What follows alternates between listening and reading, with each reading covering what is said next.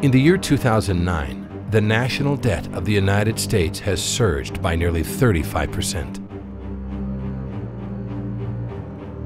We now owe the world $12.4 trillion. Pyramiding debt and credit expansion over the past 38 years has come to an abrupt end, as predicted by free market economists.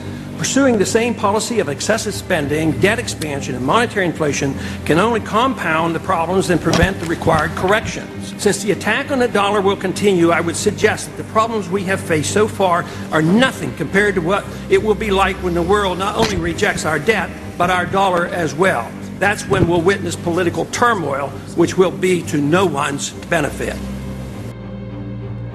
Every American, from newborn babies to the elderly, now owe over $40,000 to Communist China, Japan, Middle Eastern countries, the Russians, and others. And the Federal Reserve Bank, the largest private bank on earth, now owns over $5 trillion in debt. You owe them all. And because of recent U.S. policy changes, foreign nations are losing faith in our ability to recover China sold off two-thirds of its treasury bills in 2009 and may stop buying our debt altogether. So what does all of this mean for you? It means that with the explosion in national debt, other nations will lose faith in the dollar and it may become worth less as the rest of the world shifts to other, more reliable currencies or a basket of currencies. It means that to keep pace with the massive spending and debt, we'll have to print more money, and that means it will be worthless.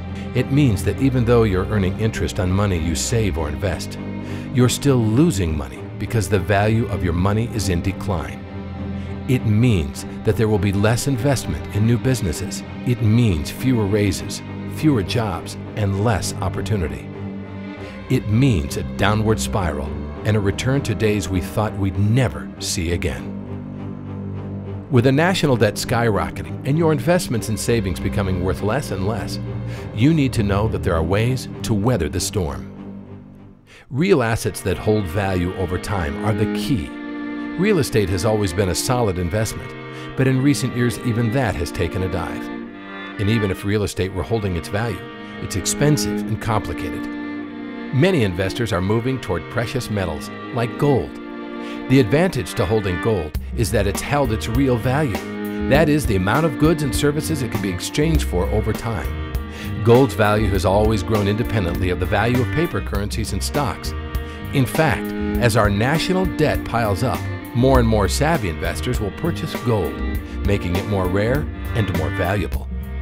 Unlike other assets of real value, Metals are inexpensive to get started in and they're very easy to liquidate when it's time. Midas Resources has put together a powerful book entitled 10 Reasons to Own Gold.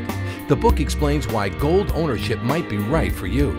It answers questions about the cost, delivery, and risks, features illustrations explaining weights and measurements, and how you can secure your IRA with gold. Get your free copy today by calling 1 800 686 2237.